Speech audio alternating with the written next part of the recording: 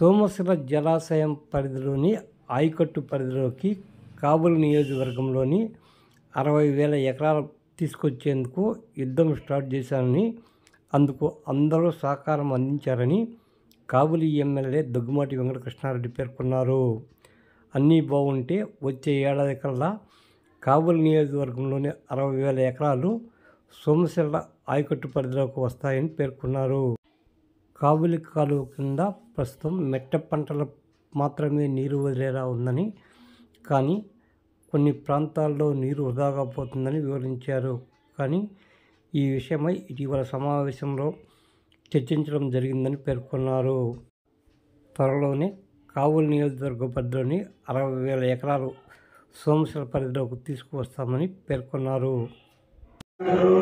Hospitals అన్ని ఉండే Mulapeta towns పేట కూడా వ్యవసాయ పొలాలే వాళ్ళు అప్పట్లో ఆయకట్టు ఆ పొలాలన్నీ అప్పట్లో ఆయకట్టు కింద ఉన్నాయి. దురదృష్టం. డెబ్బై ఐదు సంవత్సరాలు డెబ్బై ఐదు సంవత్సరాలు పూర్తి చేసుకున్న స్వాతంత్రం జరుపుకుంటున్నా ఇప్పటికి కూడా ఇరిగేషన్ అధికారుల దృష్టిలో పొగతోట ఆయకట్టు కింద ఉంది మూలాపేట ఆయకట్టు కింద ఉంది టౌన్స్పేట ఆయకట్టు కింద ఉంది. అయితే మనకేం నష్టం మీకు అనిపించవచ్చు? సోమశిల డ్యాంలో పది టీఎంసీ నీళ్ళు ఉన్ననాడు.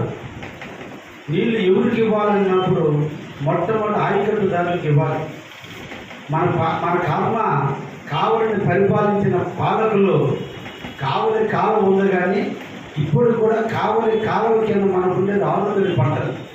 కావలి సోమశిల కాలం నుంచి నీళ్ళు ఇవ్వాలంటే లెక్క ఆరుదడి పంటల కింద ఓన్లీ మెట్ట మాగాణి కింద ఉండేది ఓన్లీ చెరువు కింద ఉండే పొలాలే మాగాడి కింద ఉన్నాయి మిగతా మేజర్ల కింద కాలువల కింద ఉండే పొలాలన్నీ ఇప్పుడు కూడా మనకు ఉండేది ఓన్లీ ఐడి అంటే ఇరిగేషన్ డ్రై ఇరిగేషన్ డ్రై అంటే ఆరుదడి పంటలు.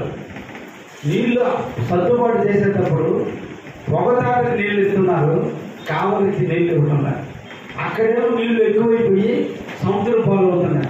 ఎందుకు చెప్తున్నానంటే ఇందుకూరుపేట పుచ్చుకూరు ఎందుకు వేలు కోట్లు అయిపోయినాయి తర్వాత కృష్ణపట్నం పోర్టు వచ్చింది. ఇండస్ట్రియల్ సెంటర్ వచ్చినాయి. కొన్ని వేల ఎకరాలు నెల్లూరు పెరిగిపోయింది. కొన్ని వేల ఎకరాల్లో రియల్ ఎస్టేట్ వచ్చేసింది. ల్యాండ్ కన్వర్షన్ యాక్ట్ ప్రకారం రెండు వేల ఆరులో ల్యాండ్ కన్వర్షన్ యాక్ట్ వేస్తే ఎవరైనా రియల్ ఎస్టేట్ చేయాలన్నా ఇండస్ట్రీ కట్టాలన్నా రైస్ మిల్ కట్టాలన్నా అగ్రికల్చర్ ల్యాండ్ని నాన్ అగ్రికల్చర్ కింద మార్చేదాన్ని నాలా కట్టించుకుంటున్నారు కానీ గవర్నమెంట్ రెవెన్యూ వాళ్ళు డబ్బులు తీసుకుంటున్నారు కానీ ఆయకట్టులో ఆ పొలానికి ఆయకట్టు తగ్గిన. దీనివల్ల ఇప్పటికి కూడా వాళ్ళకి ఆయకట్టు ఎక్కువైంది. మనం పరిపాలించే పాలకులంతా నెల్లూరు వాళ్ళు అయ్యారు. వాళ్ళందరూ మోతుబారి నాయకులు అయ్యారు.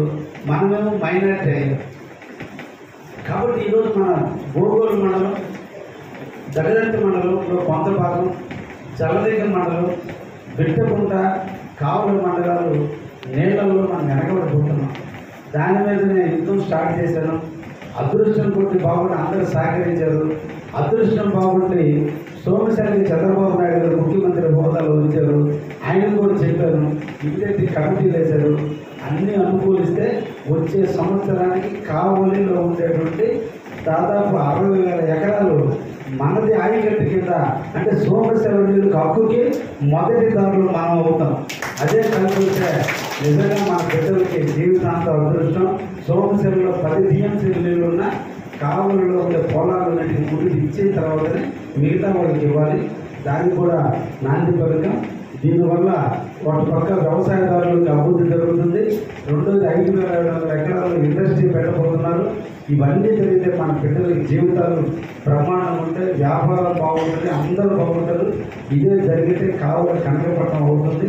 ఆ దిశగా మీరు నేను కలిసి రాజకీయాలు స్వస్తిపడికి కావులు మండల అభివృద్ధి మనందరూ కూడా కలిసి పనిచేద్దామని నాకు కలిసి నడవండి అని చెప్పి మిమ్మల్ని అందరూ కూడా కోరుకుంటూ ఈరోజు ఈ సర్వసభ్య సమావేశంలో కొండమ్మ గారి అధ్యక్షతన నడిపినందుకు వారికి ప్రత్యేకంగా ధన్యవాదాలు తెలియజేస్తూ తప్పకుండా మనందరూ కూడా కావాలని అభివృద్ధి చేద్దామని కోరుకుంటూ సెలవు తీసుకుంటున్నాం.